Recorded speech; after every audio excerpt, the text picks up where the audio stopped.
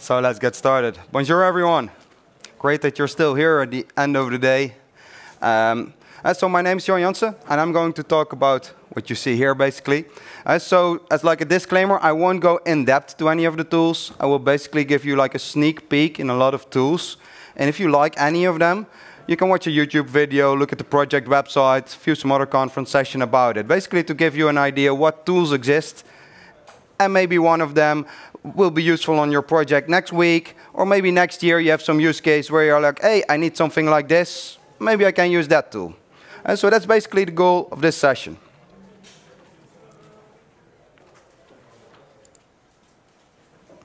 Um, so if you want to see any of the examples, I created actually like 70 examples on my GitHub. So if you go to my GitHub website, uh, no, no, no, this one this one, and you click on Java Hidden Gems, you will see about 70 different tools and libraries. I won't be able to cover all of them today, so if you're interested and like this stuff, have a look at it uh, yourself for the others that I can't cover today.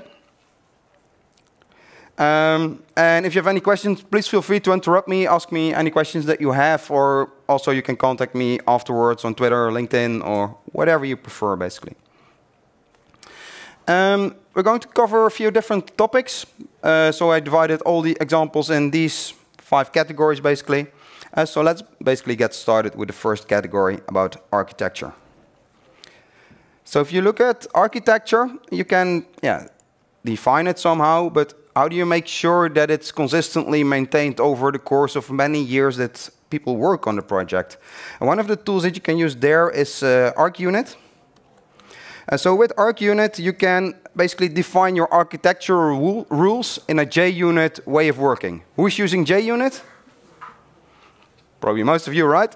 And so this nicely integrates with JUnit, works in more or less the same way. Uh, you can define some rules, which you see here.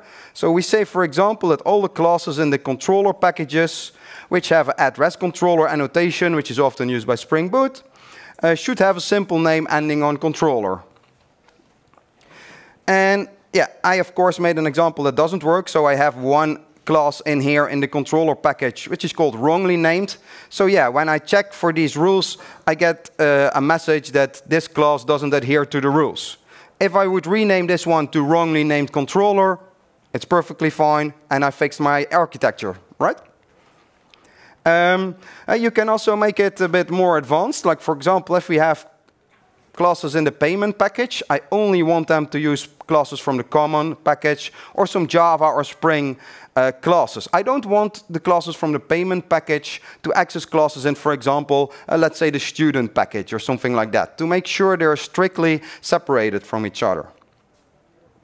Same goes for like common. If, if stuff is in common, it shouldn't use stuff from the payment package, because then you get circular dependencies. So these kinds of rules, you can express them nicely, and you can even use like an abstraction layer on top of it by defining explicit layers. So for example, a controller and a service layer, where my controller cannot be accessed by any layer. Basically, the controller exposes the REST endpoints that are used from JavaScript. Uh, and the service layer can only be accessed by the controller layer. So that way you can define all your architecture rules. And again, I mean, depending on your example, uh, you get automatically uh, some violations, and this can be completely integrated within JUnit.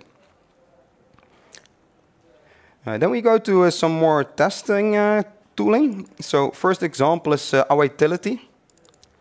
So let's say you write some asynchronous code, and then when you want to test it, um, you have to make sure that the asynchronous code actually is executed before you can do all your asserts.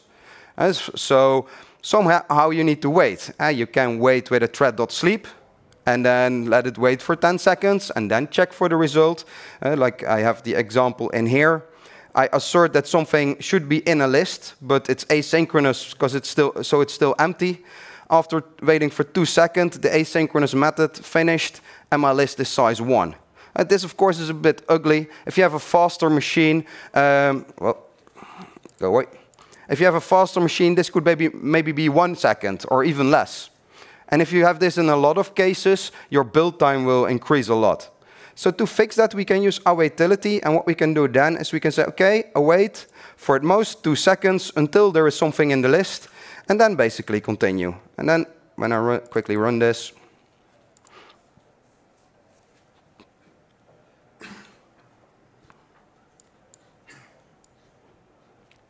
so here we see that the traditional one takes more than two seconds. Of course, we have that thread.sleep there, and the other one takes one second. And this is still a simple example. I mean, uh, you might have even longer thread.sleeps uh, or a lot of them. So this is a nice way to basically optimize that. Um, then the second one uh, we're going to look at is the Jacoco agent. Who here is using Jacoco? Okay, who has heard of the Jacoco agent? One hand, yeah. So that's the interesting one. I think almost everyone uses Jacoco, uh, either when you know it or not. It measures the coverage of your application. But they actually also have a Jacoco agent, which is a quite interesting tool. So let's have a quick look how it works. First, we need to start our application, and we do so by supplying the Jacoco agent, which is basically a jar file. Then I say, okay, I, need, I want uh, to specify the location where the results should be written, and what type of classes I want to measure. And then this is my actual application. So let's simply start my application uh, in Jacoco and copy paste the command. So now my application is running. It's a really simple application with a REST endpoint. So let's call it from our browser. Okay. So yeah, really simple. So just some car information. Nothing really spectacular here. So then what we can do is we can uh, stop the application, and this is really important. So the results file that we specified is only written away when you stop the application. So up until this time, it's still empty. When I started trying with this, I thought I did something wrong because the file was empty all the time. Then I stopped the application, went to get a drink, and I came back and was like, hey, why is it now filled? And that's actually because the results are only written away once you close the application. So make sure you don't make the same mistake as I do. Um, then the reports are written away, but it's basically unreadable, uh, unreadable, sorry, um, in an unreadable way. So we can easily make just a HTML page from it. So let's do that. Now we have an HTML page uh, in the target folder. Oh, no. Um, this one.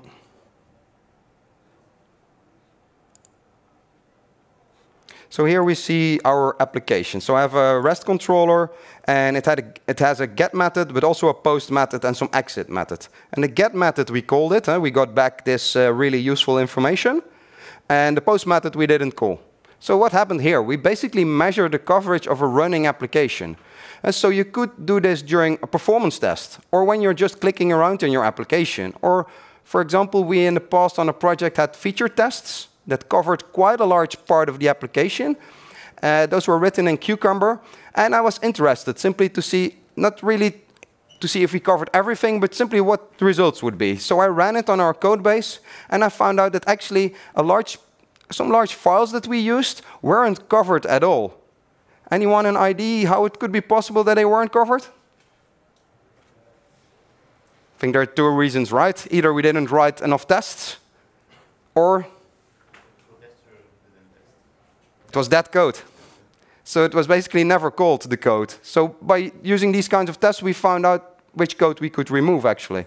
Uh, so that's uh, an interesting approach where a lot of people are not familiar that these kind of tools exist. So uh, we tried a couple of times, and yeah, we're quite happy with the results. Um, then the next one is Pitest.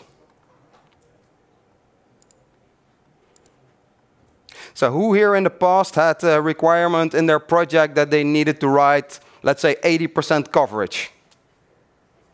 Quite some people. Do you think it's useful? Yeah? So, I mean, I can cover the 80% easiest code, right? And the difficult code is in the 20% that I don't test. Or I can call a method, I have the coverage, but I don't do any asserts. And I could do it on purpose. I mean, I've seen projects where I thought it would probably be on purpose because it was that obvious. But if you refactor some stuff, if you add some branches in your code, some if-else statements or something like that, maybe you forget one to test one of these branches. I mean, logic can become so complicated that it's hard to see for yourself. Um, and with Pitest, you can basically detect these kinds of things. So let's say uh, if we look at this example code, um, here we also have some if-else statements. And what Pitest basically does, it's a form of mutation testing. So it runs your normal unit test against your normal code, so basically against this code. And I, ha yeah, I have a really simple unit test in this case, which basically asserts if I do these two values in, I get this result back. So it definitely doesn't cover all the different branches in my code. Um, now the mutation test after the first test was successful will make variants of your code called mutants. So for example, it will change this um, bigger than in a smaller than sign. Or it will return zero here instead of a, uh, the real number. And then for each of those mutants, it will run the test again. And if the test then passes, it basically means it's not a good test, because the code changes without the test failing. Um, of course, this can take a bit of a while, like for each piece of code, it can, or for each test, it can create like eight mutants, and you have to uh, run all eight of them. So probably you don't want to run it each build, but maybe like in a nightly build or something like that. So let's simply see how this looks like.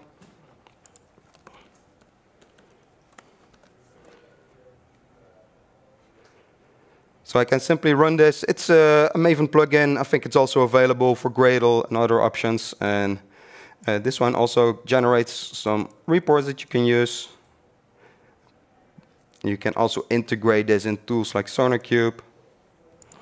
So here we see, OK, what, what part of the code did I cover? So I actually, with the simple test, already covered a little bit, but I also missed quite a few things. And why did it go wrong? And so here, for instance, on line 11, this one, my getter, it replaced it with a getter that always returns zero.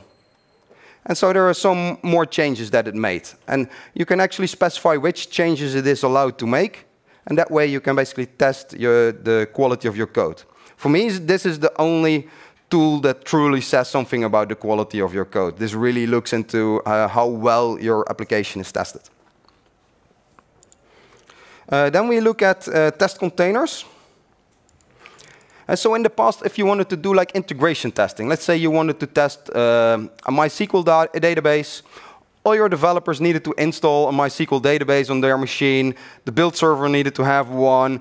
You need to update it when you have a new version, etc., which is kind of annoying. Um, so with test containers, uh, it uses like Docker containers underwater where, where you can basically talk to. So if you look at how it works like, we add some annotations, like test containers. We specify a container. So they have some like predefined containers, like MySQL container. And then I can specify which version I want to use. But you can basically use any Docker container. So if you do stuff with messaging, like Kafka or RabbitMQ, you could do it as well. And then you can retrieve the details from, um, from that container, such as, how do I connect to the container? Then you connect to the container, and I have a really simple example that puts some data in the container. Um, so this works really well out of the box. You don't need to configure a lot. And this then runs on each machine where Docker is installed, basically. Um, so if you like Docker, you probably also like this one. Uh, then we go to the next example, where I will actually combine a few examples into one, uh, and that's Gatling. Um, who here used JMeter in the past? Few people. You still regret it? No? You tried to make a report out of the results in Gatling? Oh, sorry, in JMeter? That for me was always the most annoying part. You get some plain data out and then management asks, hey, give me some nice graphs. It's like, uh, no, no, I need to transform somehow that data in Excel or whatever to, to create a nice, uh, nice one. Um, if you look at Gatling, in, in the past it was also quite well known, but it used a Scala DSL. Nowadays it has a plain uh, Java DSL, so it's even easier if you're a Java developer. And it's relatively easy to test something. So let's say here we have like a repeat, which is basically like a while loop, loops five times. Um, it goes to two REST endpoints and checks if they can be reached properly. Underneath we see a ramp users, what this actually does is after like zero seconds, you have zero users. After about five seconds, you have four users. After 10 seconds, you have eight users. So this is a way to gradually increase the load. And those eight users will all execute this loop. So that's basically eight times five. You do the math, and that's the number of loops we get. And at the same time, what I will do, I need to start uh, my simple application in the meantime. I will also show how uh, JDK mission control works. So JDK mission control in the past was part of the JDK, uh, provided by Oracle, uh, free to use except on production, then you needed to pay Oracle money for it. Nowadays, it's no longer part of the JDK. You need to download it separately, but you can use it for free everywhere. And it uses really the internals of, uh, of the JDK, the uh, Java flight recorder events. Uh, they can be seen from mission control. So it's a profiling slash monitoring application uh, to visualize those results. So I have here my car application, and what I can then do, oh wait, I also need to uh, see that I start my test here somewhere. And let's get, uh, not that one, this one. Get to the right directory.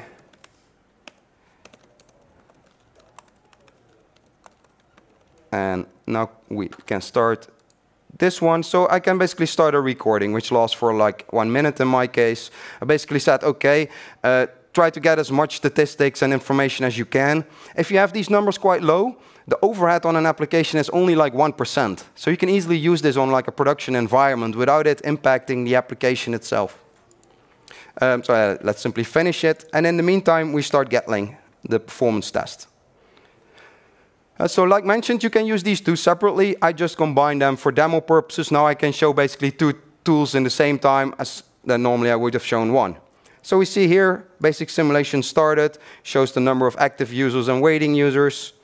Uh, it shows which request went okay, it shows some progress, and it's done. Of course, this is a really small one, so it's really quickly done. Normally, you get some nice progress updates here. And then we can look at uh, the target file. Uh, target file to see what it generated. So let's uh, use one of those and open it again in a browser. And so here you see that it nicely graphically shows what's going on, what happened in uh, my Gatling scenario. So we see, okay, there were 40 requests to the car endpoint, 40 requests to the car part endpoint. Um, uh, we see what the min and maximum response times are, things like 99 percentile, which a lot of companies use. Uh, we can also see, okay, how many users were active at, at which point in time, uh, what was the response time distribution, so uh, what went okay and not, percentiles, a, a lot of information. And, and you even have details, which also shows a lot of information. So this is all automatically generated. You can even generate PDFs from this automatically. Uh, so it's easy to set up a performance test and easy to visualize the results. So I quite like it. Then if we look at mission control, so mission control already automatically does some analysis and some feedback on uh, the test run. Here and here it says most of the heap was used by only a few classes. That's correct. I mean, I had a relatively simple example, uh, only a few classes. So let's look at some more interesting stuff. For example, method profiling. With method profiling, and this is interesting because the percentage is everywhere the same somehow now. Normally it differs. I've never seen this one. Um, so normally it differs and you can see which method in your application takes most of the time. And then you can try to optimize that method first before looking at other methods. Um, other things that you can see here is, for instance, uh, garbage collections. So here you can see how the heap grows when a garbage collect takes place, how, how long a garbage collect takes. Uh, for instance, in the past, when I got out of memory issues or heap issues, you simply doubled the heap size, right? Fixes everything. Uh, but if you double the heap size, then if it's full, it takes quite some time to garbage collect everything. So it might not be the best idea to basically create a really uh, large heap size. So with this, you get some inside information, and based on that, you can actually nicely tweak your uh, configuration for your heap. Um, you can also see things like which exceptions are being thrown, which threads are running. There's basically a lot of detailed information available in here that you can, uh, can use. Okay, now we come to the more implementation-related uh, testing tools, where we start with uh, equals verifier. Anyone here ever wrote an equals method? Yeah, I see some people. Do you think it was a correct one? Yeah? Okay, yeah, nice. I like the confidence. Uh, so um, I also wrote one. So this is my class, relatively simple, first name, last name, constructor, and an equals method. Is this one okay, the equals method? No. No? Why not?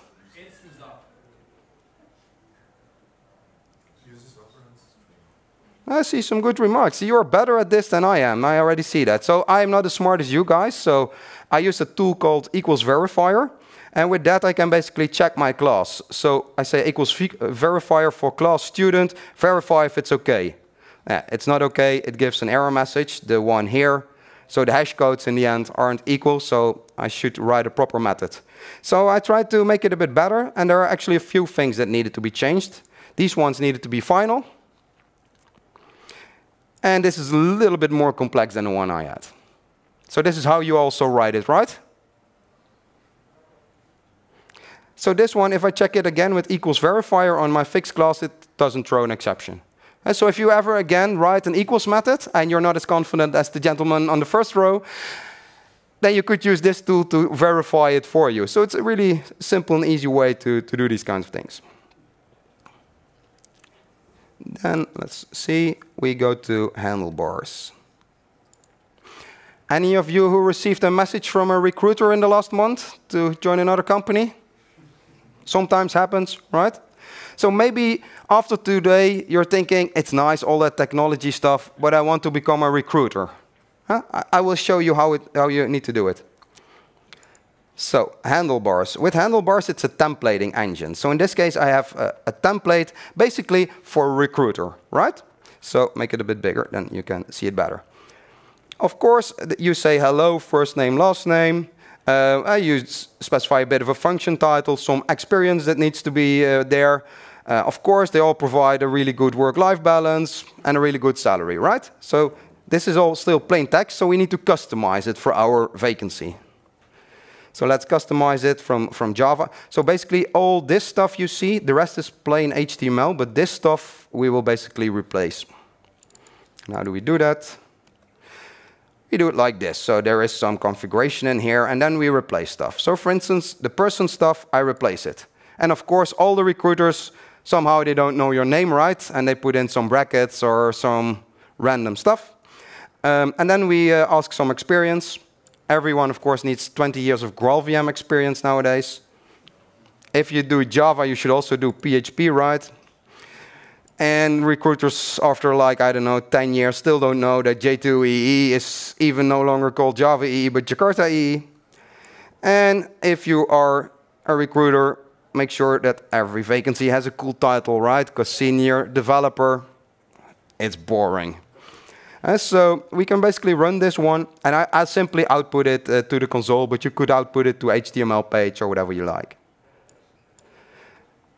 So here we say, see, now it's plain HTML without the tags. We see here, yeah, right, I'm a proper recruiter. I don't specify a good name for you. Um, and, and everything is filled in. Eh? So a really nice salary, of course. Uh, only work 43 days a week. Oh, you don't even get days off because, yeah, why would you go uh, somewhere else? Uh, so if you ever want to do, uh, without jokes, want to do something with templating with HTML, maybe sending emails or something from your system, this is like a really easy way to fill in uh, some of the variables in a predefined mill. And then we go to uh, JobRunr. Oh, no, not. Ah, man, where did that come from? Go away. Where's my project going now? Okay, this is annoying.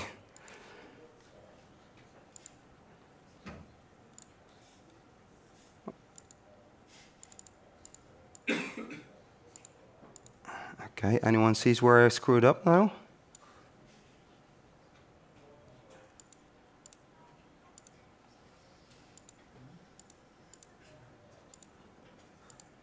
Okay, start again.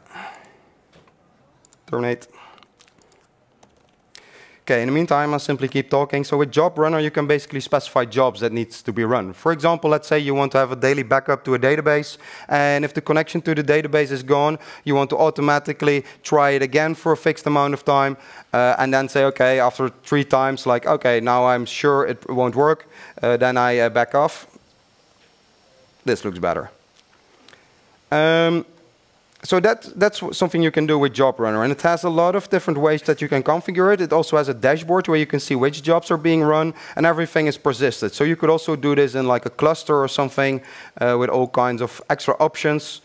So for example here, we have a job which will be retried once. So basically this method is executed twice um, because it basically throws an exception. So this really simple example. Let's imagine this is the database that's not available for a few seconds. We can also do uh, recurring jobs with like cron expressions. And uh, we can do a lot of more detailed stuff like, okay, every day plus some seconds or every 15 seconds or basically whatever scheduling you want to do, you can do it with, uh, with JobRunr. Then we have uh, JSoup, which is, uh, I think, the most uh, tasteful name for uh, something like this, right? Oh, no, sorry. I, I wanted to do another one first. Java Poet, actually, which is an even better name. So with Java Poet, you can generate Java code. So let's say we want to create this class file. Again, simple first name, last name constructor, setter, getter. Then, of course, we could write plain Java code, but we could also do it like this. And we can use Java Poet to define this. So we first define the first name, the setter, and the getter, constructor, class file, and we built it.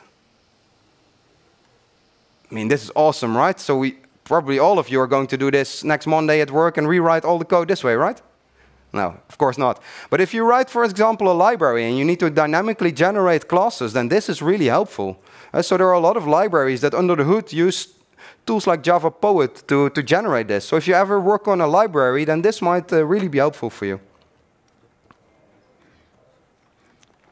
Um, so now we can look at uh, the, the soup one.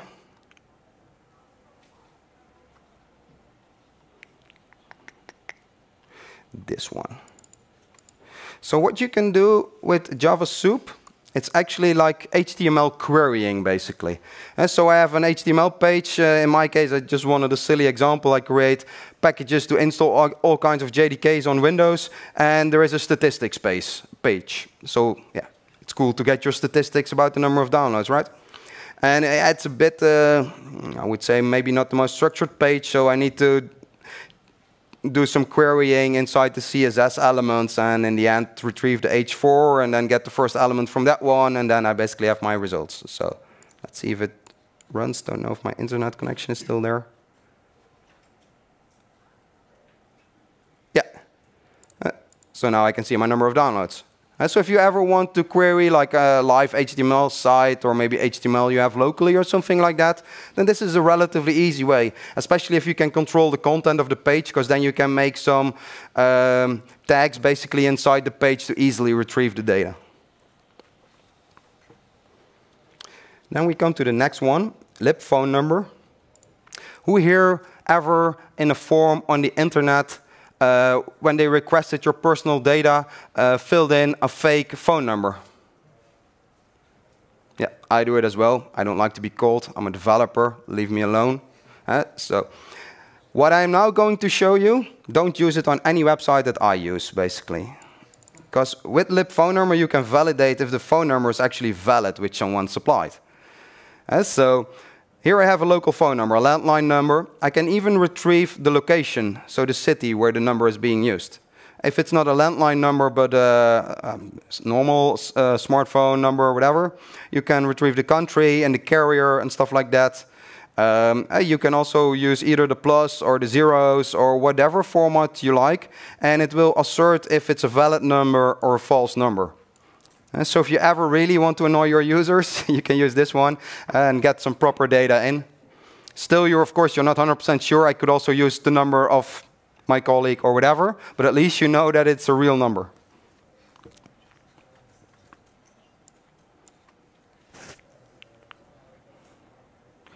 Uh, then we go to a tool called the Timefold. In the past, it was called uh, OptaPlanner.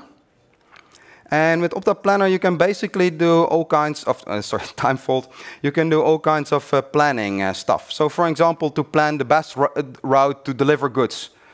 Or basically like this, eh? we have a conference, we have a schedule, how do we plan which speaker should be in which room, which session should be when.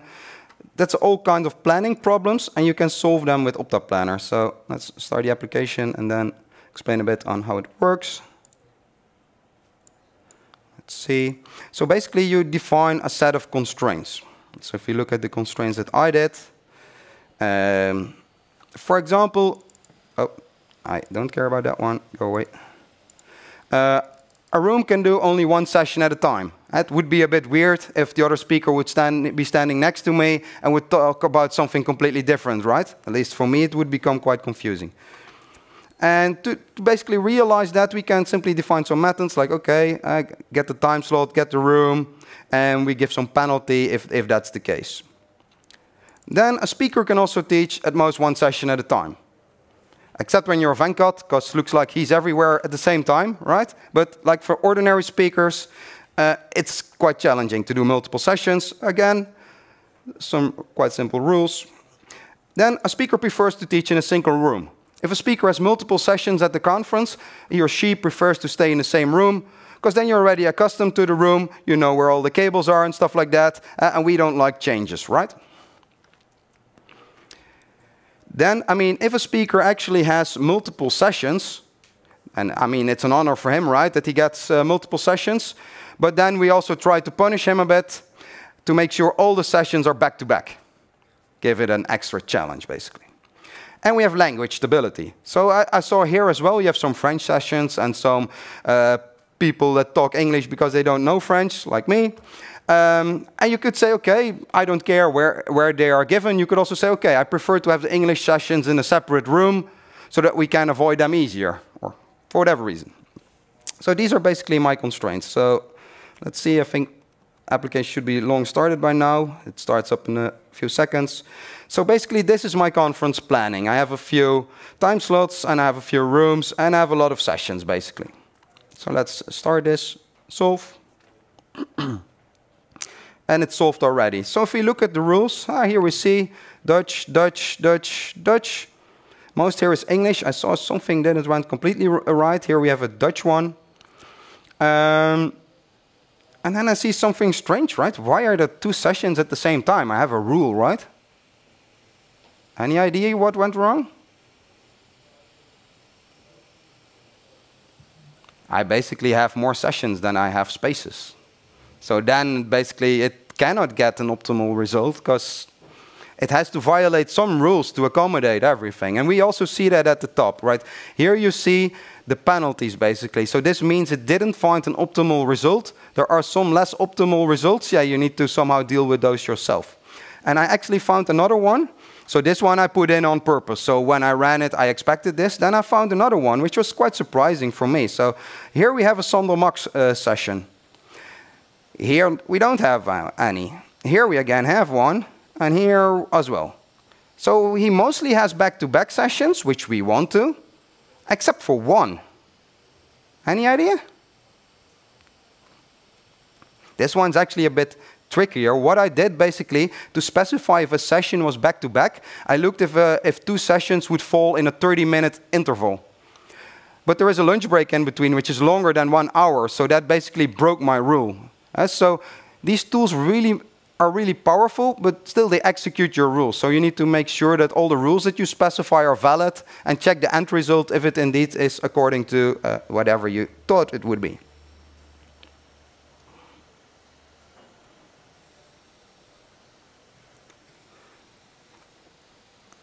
Then we go to uh, Apache Spark.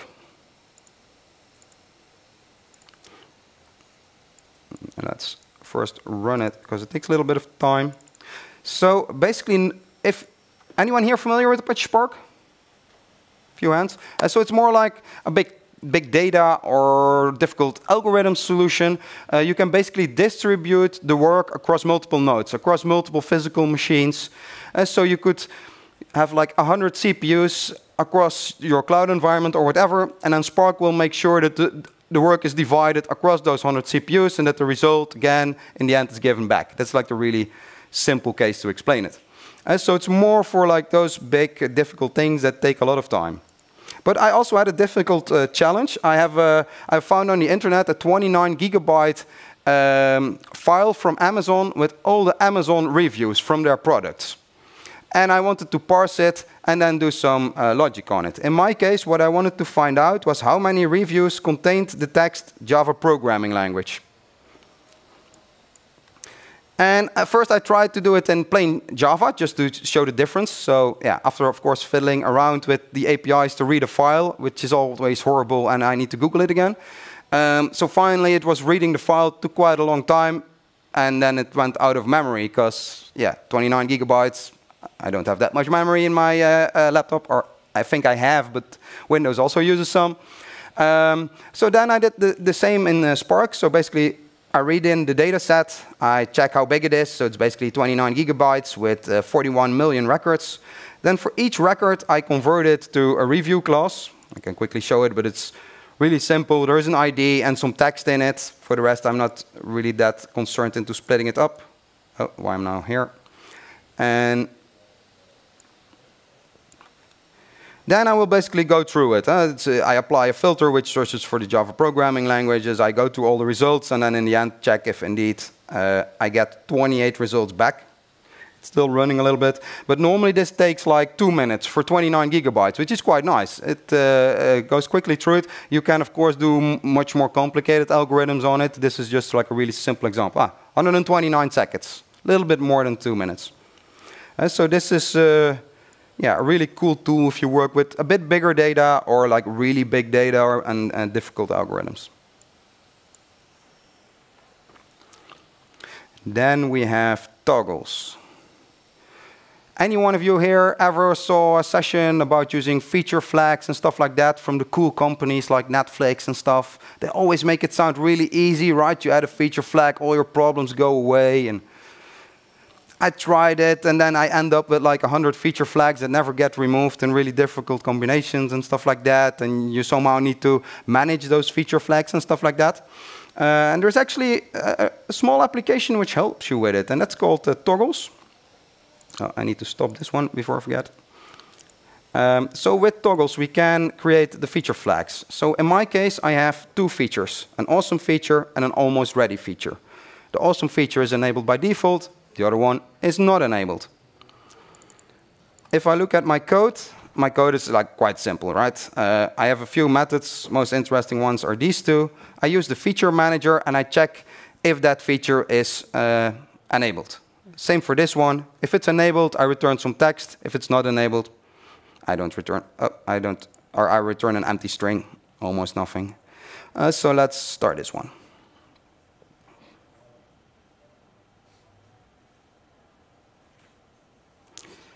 Yep.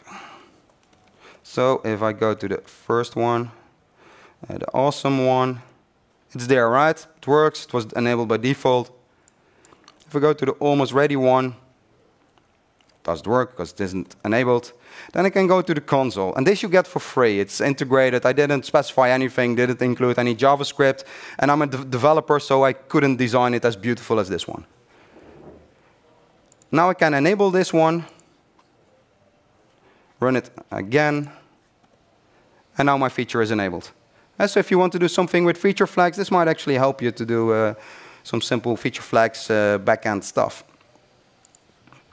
Um, then we go to the more security uh, tooling, because security, of course, is really important.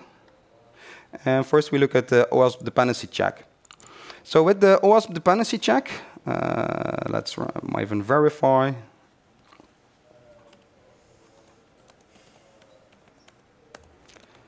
Let's run it in the meantime. So all dependency check uses a large database with common vulnerabilities. Uh, it downloads them to your local machine, and then it checks if your dependency contains any of those vulnerabilities. That's how it works in BASIC. Uh, I cache everything locally because I don't want to depend on the Wi-Fi. Normally it will retrieve updates like every few days to make sure it's updated with the latest vulnerabilities that have been found. And then it matches those against your application. So here we see it found a vulnerability. Maybe you've heard of it, Log4j. I don't know what it is. I thought the best result to fix this was to uh, downgrade to Log4j 1, right? no, just kidding. Of course, you need now to update your application to a proper version and fix it. So you can integrate this tool, I think, also with SonarQube and other tools. Uh, you can fail the build if it finds things like this. So you could even in the build server configure it that it would break a build if any vulnerabilities uh, have been found and then resolve those. uh, then we have a look at Passay. Anyone here who wrote uh, password uh, checkers, like to verify if a password from a user entered was valid according to your specification? Could do it with like a regular expression, but I'm not really smart, so if I finally have a regular expression working and I need to change it the next day, I have no clue what I'm doing. Uh, so for people like me, instead of a regular expression, you could use Passay.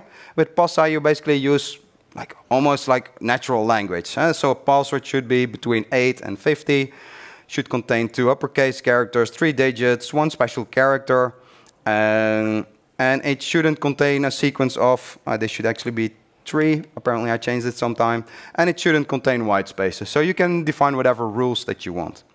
Now to validate if a password is valid, I can create a validator and then validate it and check if the result is valid. It's false in this case, of course and then I can retrieve the messages. So in my case, it says, okay, these are all basically things that you need to fix in your password. So I can make a bit more difficult passwords, still have some issues, or I can make like really difficult passwords, and then it passes. So it's a really easy way. Um, then we come to the more like build time tooling. So for build time, you have, for example, tools like um, Renovate. Uh, so if I look at, I didn't have it open anymore, my not the localized GitHub repository.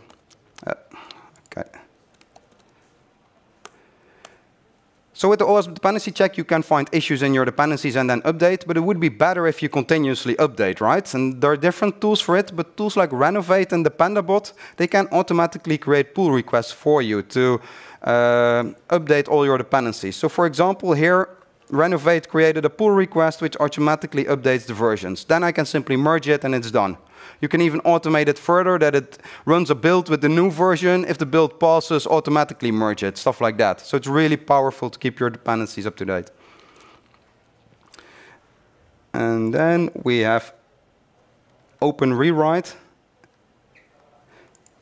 So who of you here is already on Java 17? A few, the rest is probably on older it's always a challenge to update. With OpenRewrite, you can automatically do this, actually. And uh, I was never aware of it, but um, it's really powerful. So I can basically run a recipe on my uh, project. So let's do that. And it's not only to update Java, it's, I think it even cross-language, but you can also use it to upgrade from JUnit 4 to JUnit 5. And I think they even provide recipes to migrate from different frameworks, from Spring Boot to Quarkus and stuff like that. So they have a lot of different recipes. So if you consider any of those things, uh, have a look at OpenRewrite. Let's simply run the command for now. So it, it makes the changes locally, and then you can still decide, okay, do I want to commit everything or do I still want to change stuff?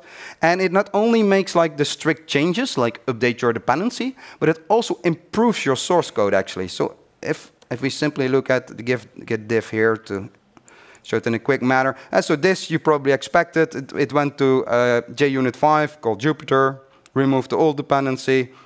But it also fixed my crappy formatting. And it also improved my code, because here this possibly could have like a null pointer exception, right? Uh, so it improves this as well. And then it replaces everything from JUnit to JUnit Jupiter, makes nice uh, assertions out of it. Uh, let's see, it also, is it? I oh, know I've changed this one as well. So it also uses the new way of uh, asserting exceptions, basically. And so it not only did like the simple upgrade, but it actually made my code a lot nicer. So if you do any upgrade stuff, have a look at it. And then for the last example of the day, who's using Maven here? Yeah? The rest uh, uses Gradle, I assume. Something else? And, ah yeah, good one. Interesting. Sorry, then you cannot use this. you might consider upgrading to Maven. so yeah, we can do like a Maven compile, and it takes a bit of time.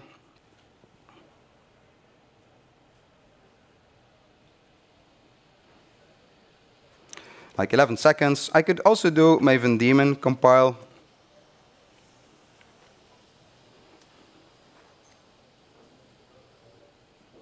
First time it takes a little bit of time because it needs to start the daemon. So now it's six seconds, which is already quite faster than we, uh, than we had before.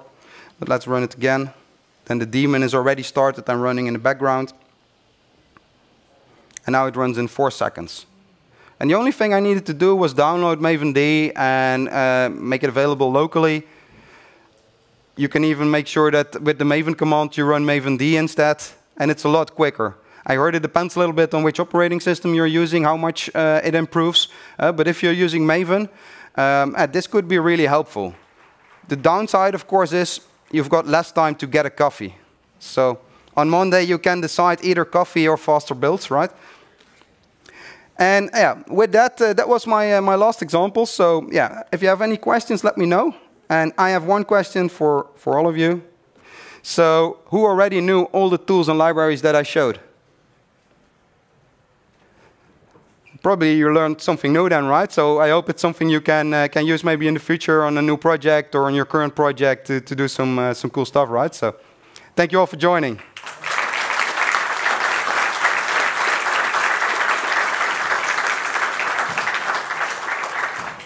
Any questions? Yes. Thank you very much for the presentation. It's very, very interesting. Uh, I have just a question about uh, Java Poet. Have used uh, Java? Uh, sorry. Thank you very much. Uh, uh, okay. Is it safe? And now it's on, I think. Ah, Okay. So just uh, one question about JavaPoet, I think, because I, I had uh, some experience with Javassist, which, which sometimes you create uh, the same things with Java code directly. Is it the same thing, same stuff?